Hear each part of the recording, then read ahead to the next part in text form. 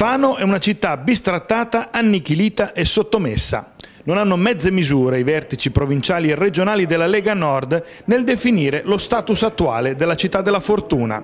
La Lega Nord è in forte ascesa anche in questo territorio, oltre che in campo nazionale, con una crescita esponenziale di consensi passando dallo 0,6 al 13%. Ed è per questo che in vista della prossima tornata elettorale per Fano serve una politica di qualità, fatta da gente di qualità. Basta ai politici improvvisati dell'ultima ora.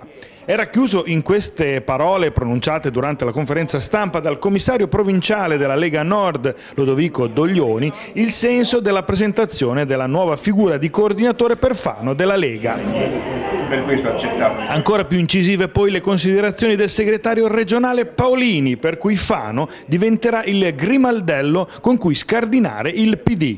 Noi vogliamo che Fano eh, torni ad occupare il ruolo che ha nella storia e nell'economia marchigiana. È la terza città delle Marche, non può morire, come dice il nome dell'associazione che abbiamo fondato due anni fa. Massimo Mei, fra i fondatori un anno fa del movimento Fano non deve morire, è il nuovo coordinatore per Fano, quattro anni in Lega e due da socio e militante, un background professionale basato tutto sulla qualità. Mei è un pasticcere affermato della città che porta in dote proprio la ricerca di una politica di qualità per una città che deve necessariamente affrancarsi da tanti errori commessi in passato e dal duopolio Ricci-Ceriscioli. Fano in questo momento ha delle difficoltà, noi alcuni anni fa abbiamo proposto Fano non deve morire facendo la lista di tutte le cose che Fano ha perso negli ultimi vent'anni e guarda caso sta venendo fuori un po' tutto, mentre prima era in sordina oggi sta venendo fuori in maniera diciamo, abbastanza evidente quello che Fano ha perso, per inettitudine, per incapacità, per tanti motivi. Noi vogliamo risollevare la città, quindi cercare senza nessuna pretesa, con molta semplicità, però cercheremo di